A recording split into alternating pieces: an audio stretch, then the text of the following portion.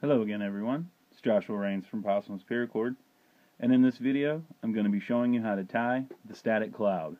Now before I get any further, first of all I want to say thank you to the original creator, Robert Spangler. I will also have a link in the description to the original tutorial for this bracelet. But thank you, Mr. Spangler, for your permission to make this tutorial. So this side is the main side of the bracelet. It's the static cloud. Now what I normally do is I actually put this on a flat buckle because the back side, which I've heard referred to by the spinal tap, uh, is excellent side also. So if you use a flat buckle, you get the best of both worlds.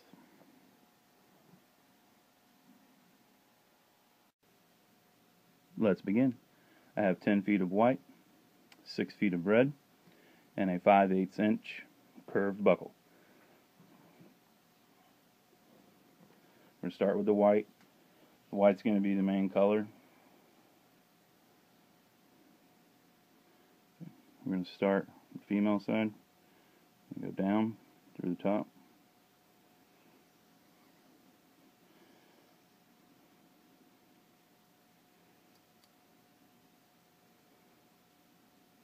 And do a cow's hitch. Don't pull that tight. Take this one here, find your end. You're going to go down between, out the back, and you're going to come down through that loop, through the cow's hitch.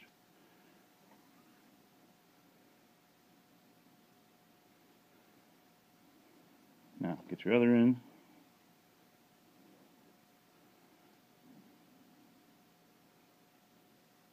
Go down.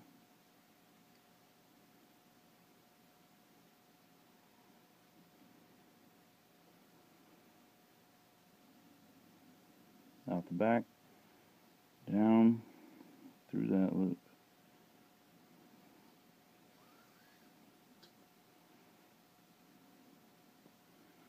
Now you're just going to rock it. What that's doing, that's just tightening it up.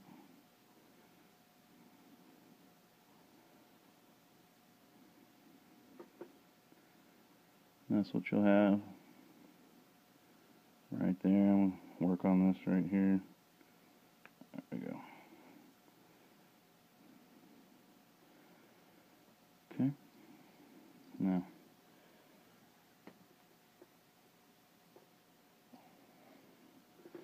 going to go down through the top on the male side.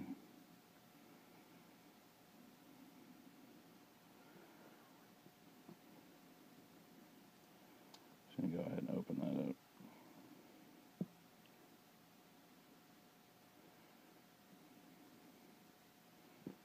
And here's where you're going to take your measurement. This pattern, um, you need to add inch and a half to your wrist size.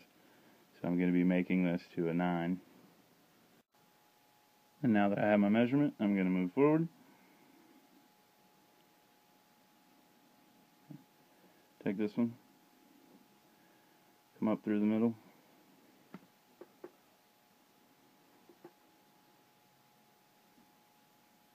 Come up from behind. and down through the loop. Just warming a cow's hitch.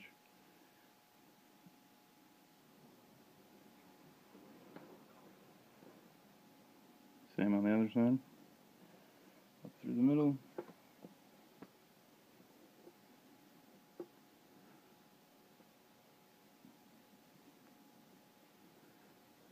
Come up from behind.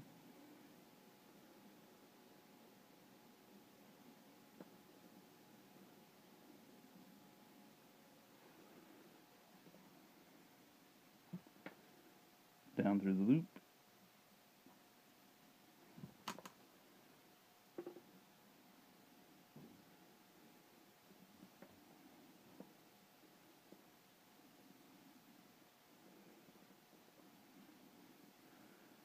Leave those loose for just a second. I'm going to take that red lace needle, flip it over. I'm just going to run this straight through.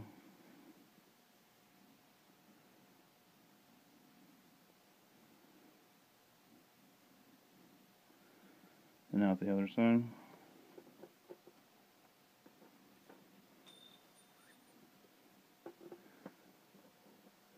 And I'm just going to make sure that's nice and even.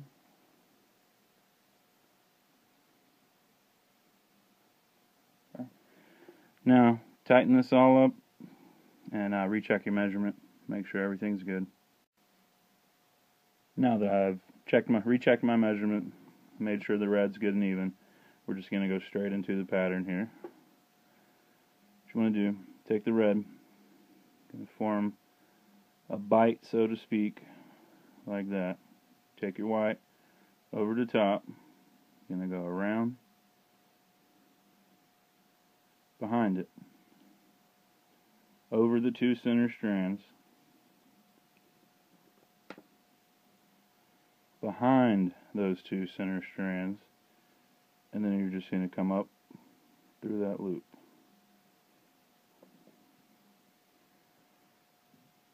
Just like that.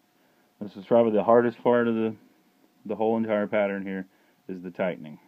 So do is you're going to pull this up, slide this up, work it, pulling that up.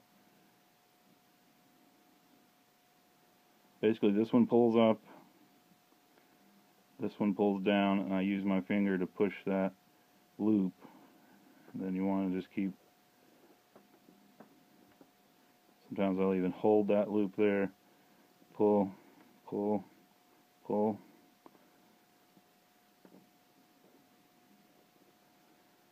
And there's your first one. It's okay that it's not super tight yet. I don't want to pull the red through from doing this too tight, but either way, it runs, the red runs parallel to itself. Basically, move to the other side form the bite. Take the white over the top of the two red, around behind, over the two center strands, round behind, up through the loop.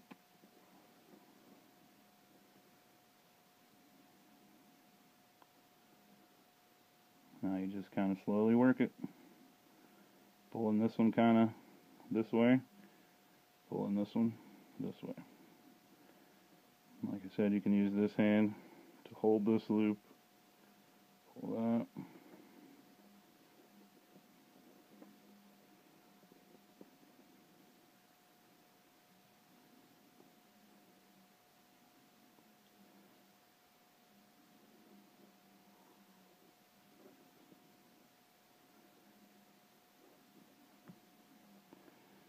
Now's where you can really tighten it. Push down on this loop here, which pushes the slack that comes out here. You pull up and then pull this one downward.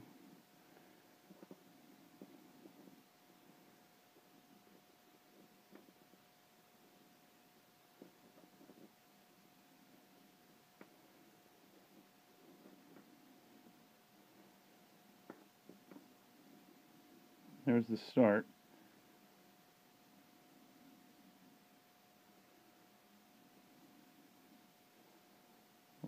This one is a little more attention.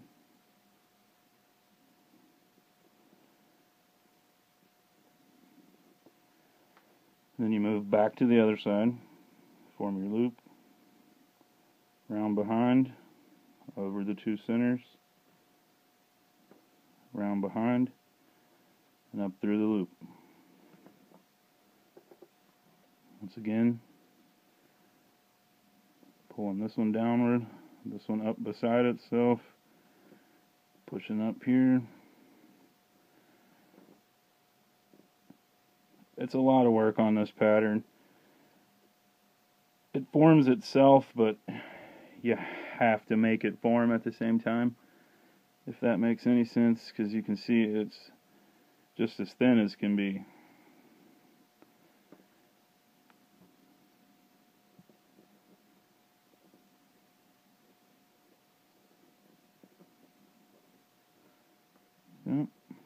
Go back to the other side.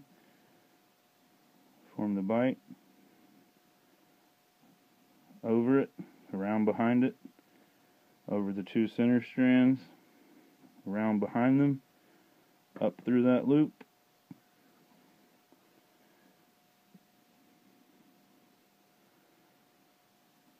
And then you're just going to work it.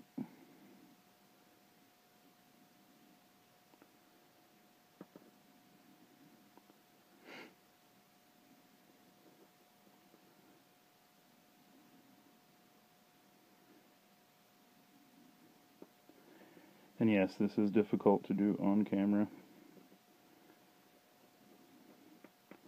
Because normally I'm all over the place trying to tighten this thing up.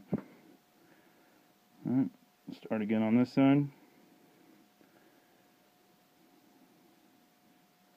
Form the bite over the top, round behind, over your two center strands, around behind your two center strands, up through that loop.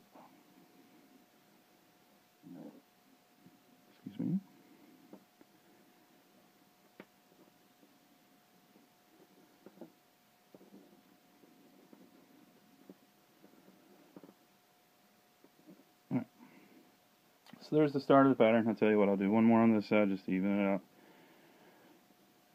Form your loop, the bite, whatever you want to call it. White goes over, around behind, over your two centers, round behind, up through the loop. And yes, if you make these loops much smaller as you go, it's a lot easier tightening. But of course, for demonstration purposes, to give you an idea, kind of have to show it.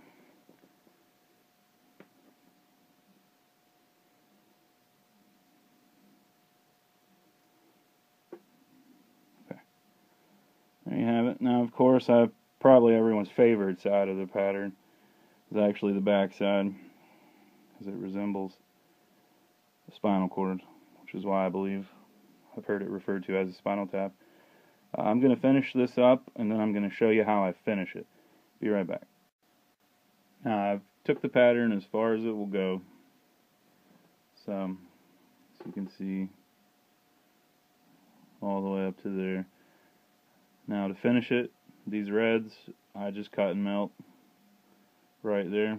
Now for the white, what I like to do is take a lacing needle, go right in the center there,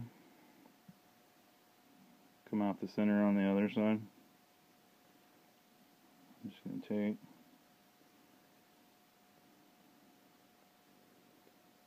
okay. coming right beside it on the other side. It's going to be a little tighter this time because you already got one in there.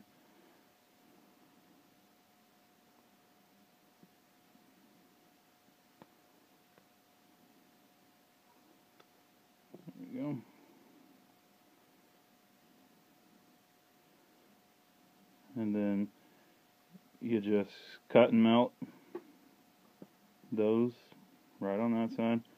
And see when you do that almost kind of makes it look a little like the other side. But there you have it. Hope you enjoyed the video. Thanks for watching. P.S. Are you looking for a good source to get the materials you need to make your very own static cloud? Well, I have two AlexandersOutdoors.com and StockstillOutdoorSupply.com. Those are my two main providers for all my paracord materials. Thank you.